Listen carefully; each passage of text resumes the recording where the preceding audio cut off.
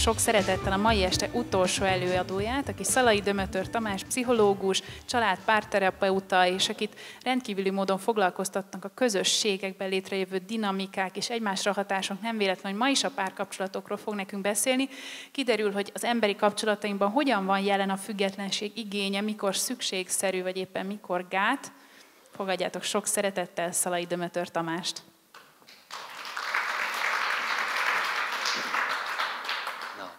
Szép estét kívánok mindenkinek. Arra gondoltam, hogy egy ilyen szemantikai paradoxonnal játszanék a mai estén, hogy lehet-e egyáltalán függeni a függetlenségnek az élményétől.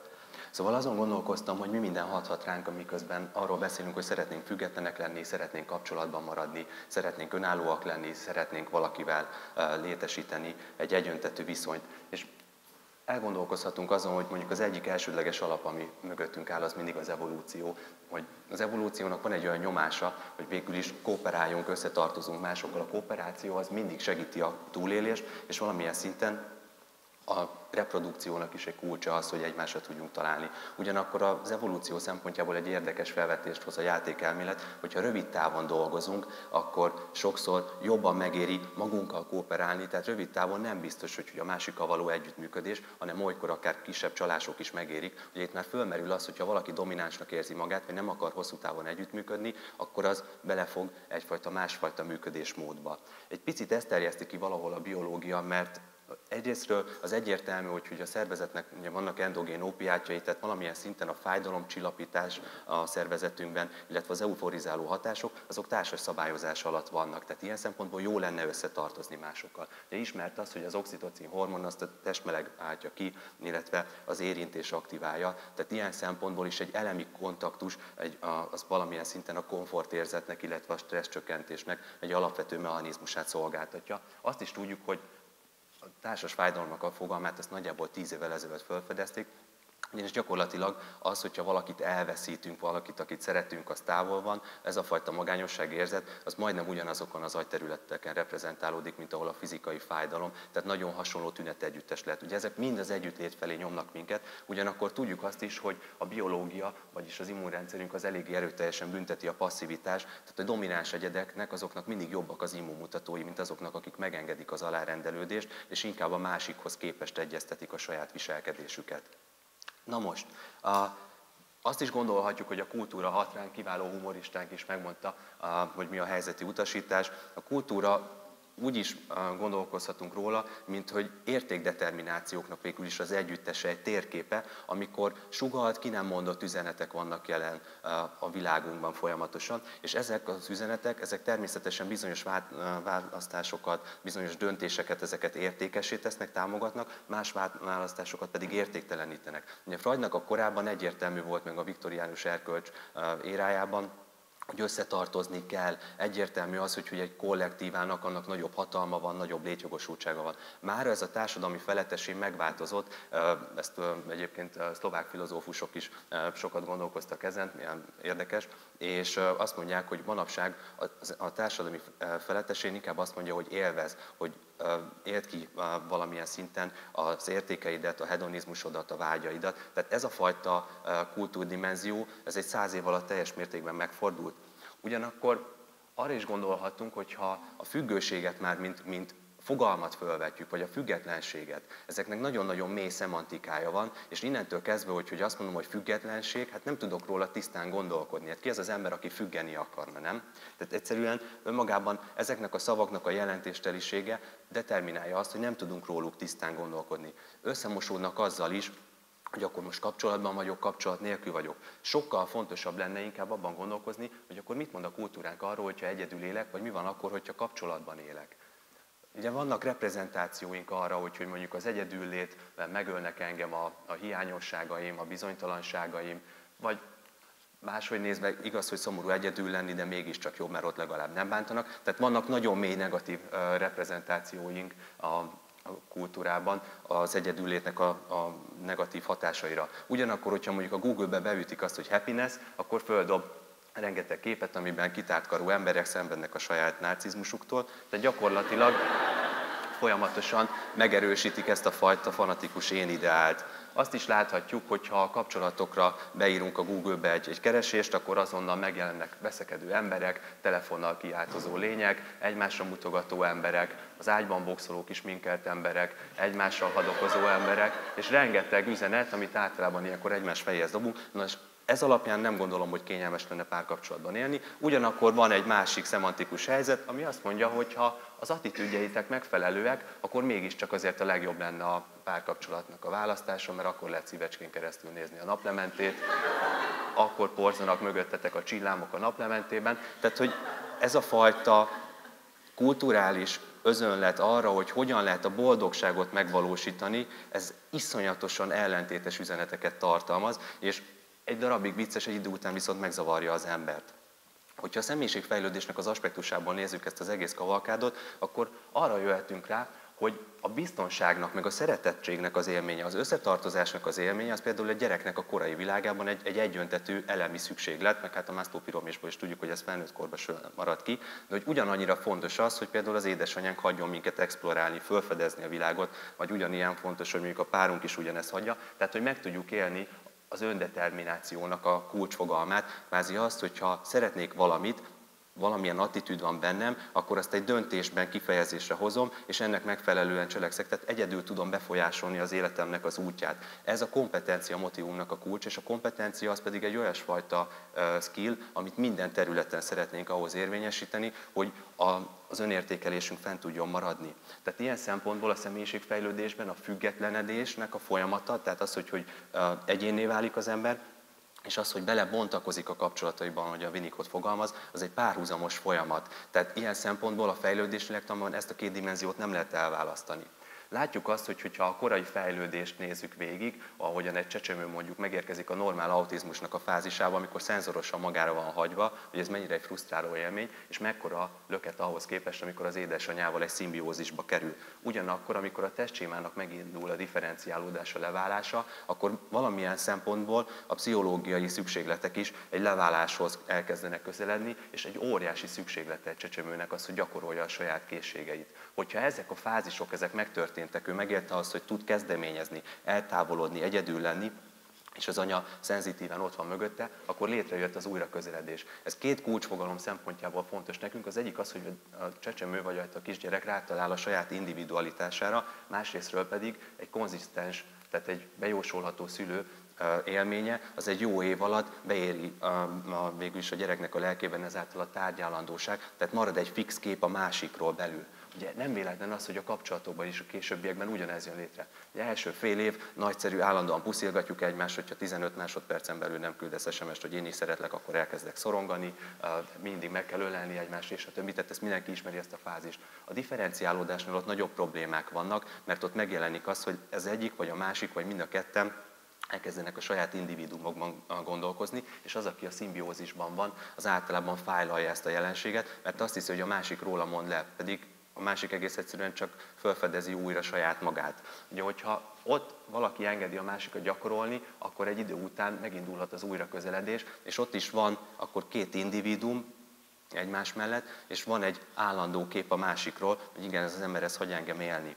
Na most, a kötődés elméletben még jobban megszilárdulnak ezek a dilemmák, hogy a másikról alkotott kép milyen, a rólam alkotott kép milyen. Így például a biztonságos kötődésben ugye tudjuk azt, amikor az édesanyja támogatja a, a, a kisgyermekét, és engedi azt is, hogy, hogy tudjon explorálni, akkor egy idő után a gyerekben meg tud szilárdulni saját magáról is egy pozitív kép, mert hiszen megerősítenek, kongruens jelzéseket adnak a saját érzelmégényeimmel, ugyanakkor a másikról is egy pozitív kép, mert a másik ott van, kiszámítható. Ilyen szempontból egy ilyen gyerekben, akiben biztonságos a kötődés, és később felnőttkor eléggé gyakran generalizálódnak ezek a minták, a távolság is teljesen rendben lesz, és a közelség is, mert hiszen mind a ketten rendben vagyunk, és nagyon alacsony lesz a szorongás és az elkerülésnek a szükséglete is. Most azok a gyerekek általában, akiket ridegebben nevelnek, vagy azok az emberek, akik kapcsolatokban egy picit sérülnek, vagy kevésbé responsív a partnerük, azok nagyon gyakran kerülnek ilyen elkerülő mintába. Tehát úgy stabilizálom saját magamat, hogy én vagyok pozitív, te viszont negatív vagy, és úgy tudom a saját félelmeimet kontrollálni, hogyha téged eltávolítalak, és én ugyan alacsony szorongást őrzök, viszont hogyha a függetlenségembe belépsz, az valami erős frusztrációt fog nekem jelenteni. Hogyha valakinek a kapcsolati érája, akár a gyerekkorban, akár a felnőtt korban ambivalens, tehát a másiknak a viselkedése az bejósolhatatlan, az azért problémás, mert akkor a partner az a frusztrációnak a feloldója is lesz, meg sajnos a forrása is, és ilyen szempontból nem fogok megbízni benne, tehát nagyon erős közelséget fogok ápolni a partneremmel, és bizalmatlan, szorongálva válik a kötődés, és nagyon sokszor emiatt a bizalmatlanság miatt alakul ki a dependencia is, mert hiszen folyamatosan rajta akarok csüngeni, mert nem tudom bejósolni a lépéseit azok az emberek, akiket traumatizálnak, vagy akiket például drogosok nevelnek föl, illetve egyéb szerfüggők vagy személyiségzavarosok, nagyon gyakran azt alakítják ki, hogy én is negatív vagyok, meg te is negatív vagy, és ilyen szempontból a kapcsolatokban nagyon gyakori az üresség illetve az elnyelődésnek a félelme. Ez tipikusan hogy ez a sündisznó dilemma, hogyha nagyon távol vagyunk, akkor nagyon fázunk, amely közel, akkor megszúrjuk egymást. Na már most, hogyha egy picit tovább megyünk ebből, akkor végül is azt látjuk, hogy az egész jelenségnek a közepén valahol az én képünk van, hogy ez eléggé szilárd kialakult-e a másikról az úgynevezett tárgyálandóság, tehát ápolok-e róla egy belső képet, vagy akkor, hogyha mondjuk péntek este külön megyünk el bulizni, akkor ő már nem létezik, és én elkezdek szorongani, és ezért utána kicsapongok, vagy mondjuk esetleg ő Tokióban él, én pedig éppen mondjuk, mit tudom én, érdem pötyögök a számítógépen, és teljesen kényelmesen érzem magamat, mert egy biztonságos képet őrzök róla. Ezek meghatározóak. És ezek a fajta tapasztalatok, és ezek a fajta nyomások, amit akár a kultúrából, akár a biológiai alapjainkból hozunk, ezek egy preverbális tapasztalási módot jelentenek a számunkra. Tehát mielőtt még megfogalmaznánk szavakat, vagy mielőtt még reflektálnánk, hogy igen, mérges lettem, azelőtt a szervezetünk már elkezd reagálni ezeknek a változásoknak az alapján, ezeknek a hatásoknak az alapján. Tehát én egy picit inkább arra vinném tovább ezt a kérdést, hogy nem is a függetlenségről van szó, hanem arról, hogy mitől szorongok, illetve hogyan tudok megélni komfortérzetet. Ugye ez egy kétirányú nyomást jelent. Az egyik az az, hogy hát na, na hát akkor menjél tartozzál valahova, legyél kapcsolatban, különben nem érsz semmit, ugye? I love you, de nem happy. Ugye a másik választás az az, hogy be free, és akkor vagy boldog, nagyszerű. Tehát a másik nyomás az önállóság. Az a probléma általánosan, hogy ez egy választásos jelleget ölt, hogy nekem el kell döntenem, hogy akkor igazából magamhoz tartozom, vagy igazándiból hozzá tartozom. Pedig ez nem biztos, hogy egy vagylagos kérdés.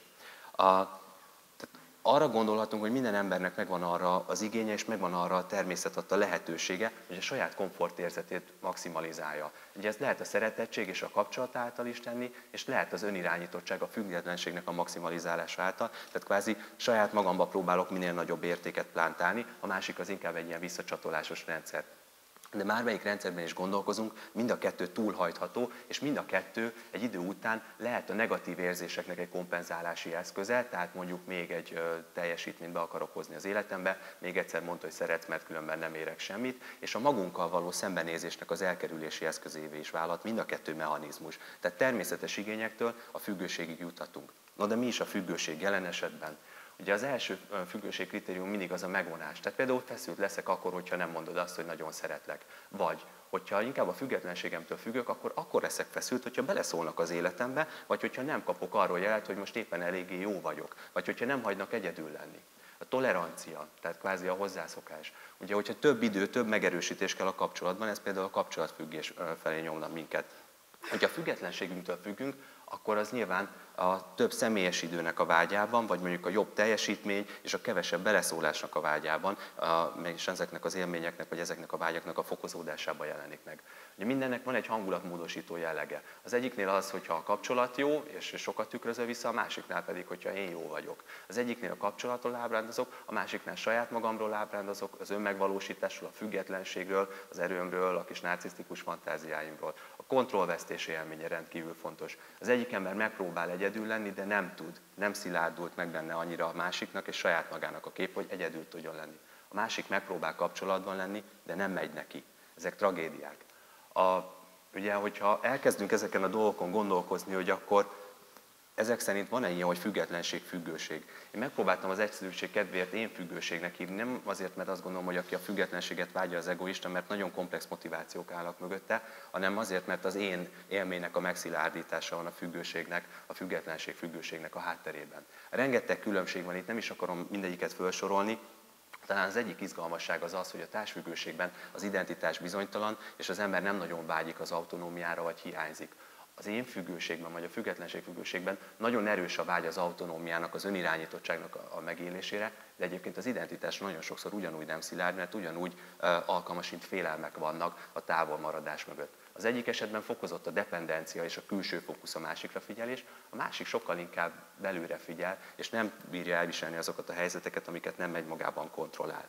Az egyik embernek elégtelenek az én határai, és összemosódik a másikkal, a másik inkább erős távolságot őriz azért, hogy meg tudja tartani az erős határait.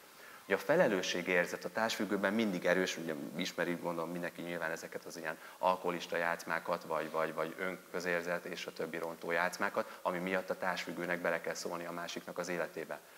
Az én függő, vagy a, a, ez abszolút nem foglalkozik a felelősségérzettel, nem vállalja a felelősségérzetet a másikkal szemben. Az egyik esetben kényszeres gondoskodás van, a másik pedig kényszeresen gondoskodik saját magáról. Az egyik esetben áldozatszereppel találkozunk, a másik esetben viszont arról van szó, hogy, hogy én feljogosítottan érzem magamat, és ettől nagyon sokszor a másik lesz az áldozat. Tehát ezek a különbségek. De vajon lennének-e hasonlóságok is? Én azt gondolom, hogy egyébként igen, mert mind a kettő esetben függőségről van szó. Az én függő személyeknél nagyon-nagyon fontos például a személyes kontrollnak a szükséglete, a társfüggőnél meg a kapcsolati kontroll. De ugyanarról beszélünk, hogy valamit túl akarunk kontrollálni.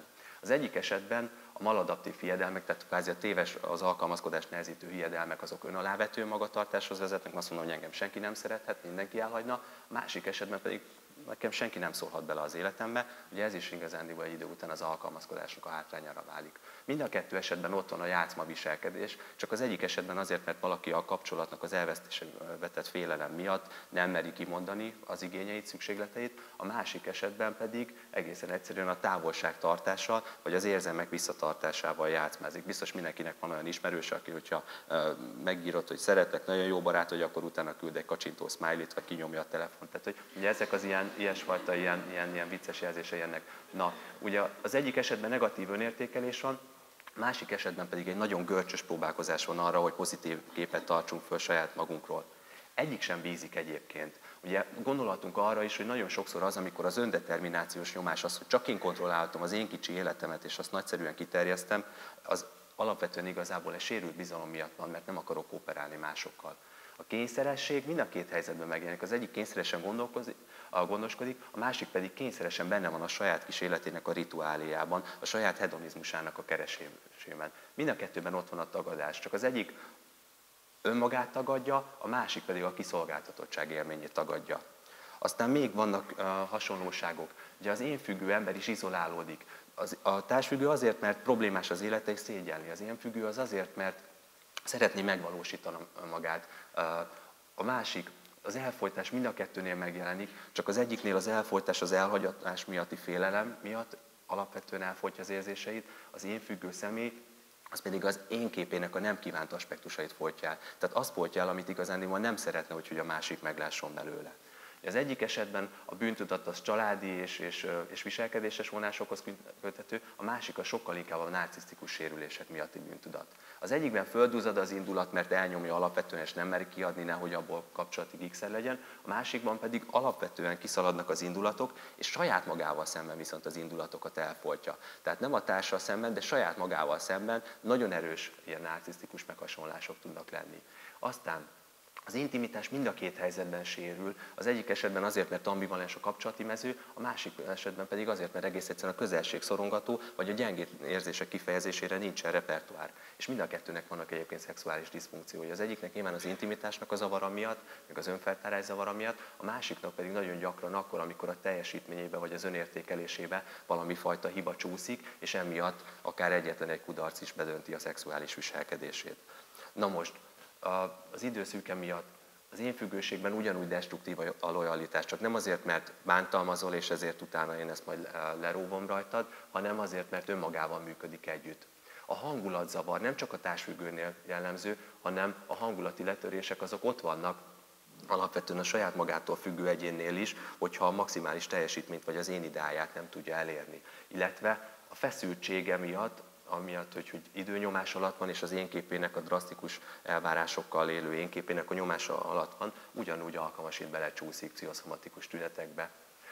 Az egyik fél ugye gyakran bántalmazott, a társfüggő, a másik fél pedig vagy gyakran bántalmazó, vagy alkalmasint ugyanúgy bántalmazott, mert érzelmileg rideg közegben nevelt. És igazándiból mind a két fél egy picit a saját játszmájával magára marad. Tehát nagyon-nagyon sok hasonlóság van. A játszma elméletileg szerintem érdekes lehet egyébként az a különbség, hogy ameddig egy, egy kapcsolatfüggő ember az inkább a sérült gyereknek a pozíciójából kommunikál. Tehát az, hogy miért nem törődsz velem, miért nem vagy elég jó hozzám, miért nem adod meg azt, amit szeretnék, addig a másik elkezd ugye erre a helyzetre a büntetőszülőnek a, a pozíciójából, hogy hát hiszen nem hiszem el, hogy te ezt nem bírod ellátni, nem, nem bírsz a saját érzéseidről gondoskodni, tehát nála van egy távolító reakció. A másik, amikor a sérült gyerek elkezd kompenzálni és elkezd gondoskodni, ugye rengeteg agresszió elfolytásból és rengeteg kontrollálási vágyból, igazándiból a saját magától függő partneréről.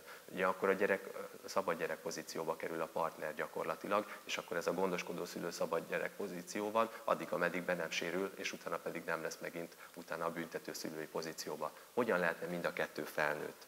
Én azt gondolom, hogy mind a kettő természetes igény. Tehát természetes igény az, hogyha valaki szeretné az önirányítottságot megélni, az autonómiát. Természetes az, hogy valaki vágyik a szeretetségre, a biztonságra. Mind a kettő a boldogságát keresi. De azt nagyon fontos tudatosítani, hogy ezek nem feltétlenül kizáró dimenziók, tehát nem feltétlenül csak önirányítottságról van szó, és akkor elvesztettem a szeretettséget, és nem feltétlenül jelenti azt, hogy ha valakit szeretek, akkor el kell vesztenem az önirányítottságomat. Az a kérdés, hogy a saját komfortérzetemet és a közös komfortérzetemet azt meg tudom-e úgy teremteni, hogy a másikat sem hasítom le ebből a térből, és saját magamat sem. Ilyen szempontból érdekes egyébként a boldogságnak a három dimenzióját figyelembe venni. Az első azt mondják, hogy ez az örömhedonizmus. Ez az, hogy nekem most legyen jó. Ez általában egyébként az életminősége nem korrelál, ez még a hungarosztadikban is benne van. A második szint az az önátadás, amikor valami fejlődik általán, valami például egy élménybe, egy kapcsolatba, egy munkába beleteszek egy teljesítményt, és utána én is fejlődök általa.